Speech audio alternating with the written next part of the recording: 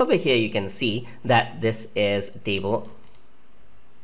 Microsoft OneNote allows you to create Excel spreadsheets and link uh, it with Microsoft OneNote as well. So let us try creating a new table by using Excel spreadsheet. So I'm going to go into insert for that and over here in the table you can see that there's new Excel spreadsheet.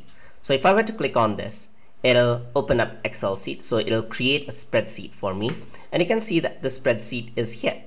So now if I want to edit this out so you can simply go over here press the edit and it'll open up uh, Excel file for me as you can see. So this is the uh, area where I can type in my data. So I have the power of Excel. I can select this, format it according to what I want, add in some data, close this out. This is going to save this out and you'll be able to see the data here. It has been updated just like that.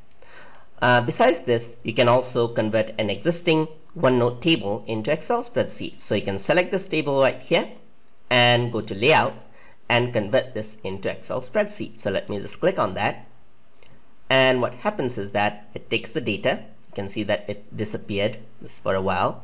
And now you can see the spreadsheet right there. So you can press the edit key right here and it'll open up this Excel spreadsheet. And now what I can do is I can add in the formula that I want. So first of all, let us go for arrangement of data itself. So it seems like the arrangement is not done. And if you want to learn more about Excel, you can check out my Excel, uh, Microsoft Excel tutorial uh, playlist as well, where uh, mm, uh I teach you the basics of Excel and working with Excel formulas. So I'm just going to range this out. I'm going to right click. I'm going to sort this in smallest to largest, and I'm going to expand this right here.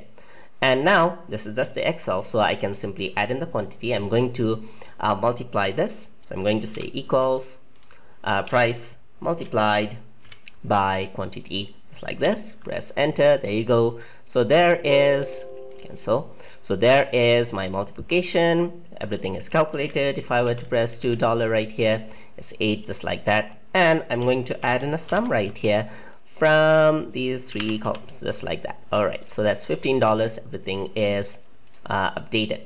I can also select this out. I can merge them out. So I'm just going to merge these cells uh, merge in center. I'm going to right align this and I'm going to say grand total just like this. And I'm going to build this out. So you can see that this is data. So I'm going to send this is right line so that's fine and I'm just going to save it by pressing Ctrl S and, and once it's closed you can see that it has been updated right here. The data has been updated. So that is how you can work with Excel spreadsheet inside of Microsoft OneNote. Hope you guys learned something as always. And as always please like comment share and subscribe